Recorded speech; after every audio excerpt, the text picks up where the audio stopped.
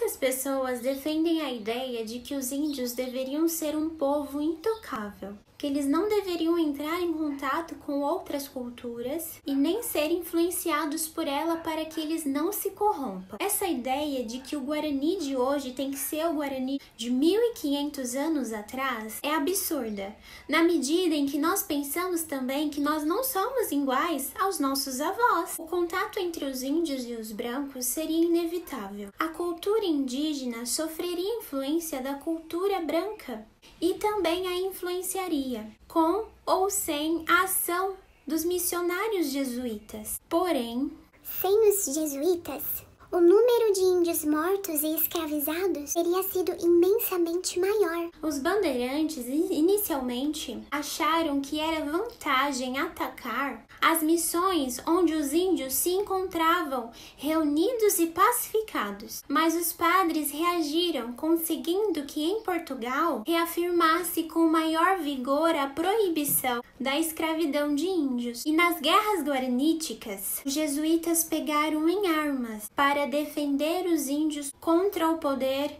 colonial português e espanhol, provando com o próprio sangue deles o amor pelos indígenas.